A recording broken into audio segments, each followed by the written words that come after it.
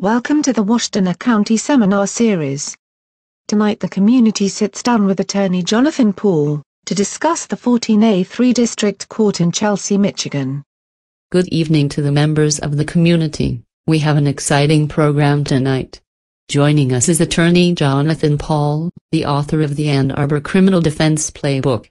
Mr. Paul, can you tell us more about your book and the inspiration behind writing it? I wrote the book to help anyone who finds themselves on the wrong side of the law. Good people who find themselves in bad situations can take control by being proactive right away. Okay, let's go to the audience for some questions. Please step up to the microphone and let us know your name, what you do for a living, and what your question is. Hi Mr. Paul, my name's Jack, I'm a doctor in the area, I am charged with drunk driving, who will be my judge, and what can I do leading up to my court date? I discuss this topic in Chapter 3 of my book. In Chelsea, Judge Conlin handles all DUI cases, including the arraignments, and could put you on daily alcohol testing. My clients come to court already testing for alcohol, they have already been screened and assessed by a substance abuse counselor, are attending AA meetings, and volunteering. So you're saying your clients do all of this before going to court? The testing, AA, volunteer work and the counseling? Yes. I am very selective in the clients that I agree to represent. I am looking for motivated clients, who want to learn from their case, even if the case is dismissed or reduced. Hi, my name's Jessica, I'm a local business owner, and mom.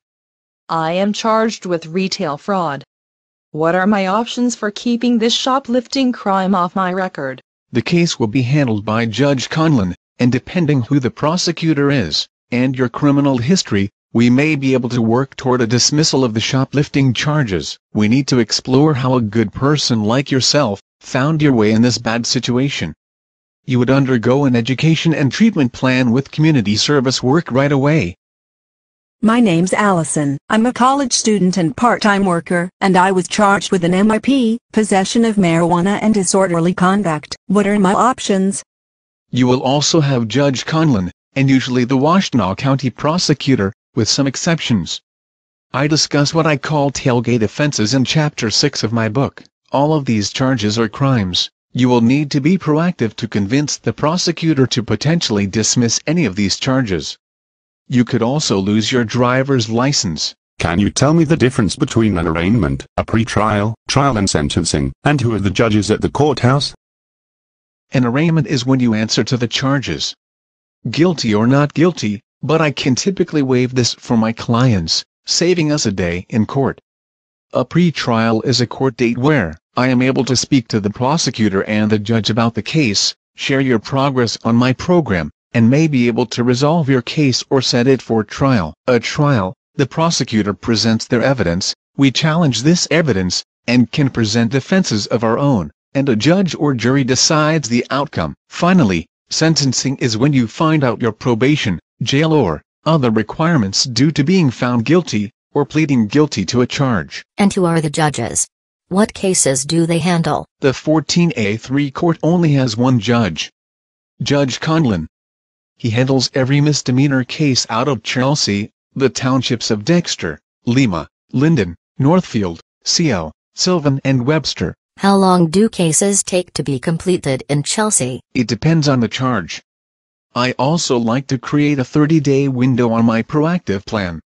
If we are able to resolve the case with a deal, usually 2 to 4 weeks, a trial 2 to 3 months. Thank you Mr. Paul for being here, and telling us more about your book. I think the community learned a lot tonight. Any final remarks? Thank you for having me tonight. Everything happens for a reason. It's how you react from day one, which will define you, and not the isolated moment in time. Take control of the story of your case. Don't let the police, prosecutor and judge define you so easily. We will earn back the trust of the community, and get you the result you deserve. That concludes tonight's event. To order a copy of Mr. Paul's book visit Amazon.com, visit his website www.michiganlawgrad.com or call him at 248 924 9458.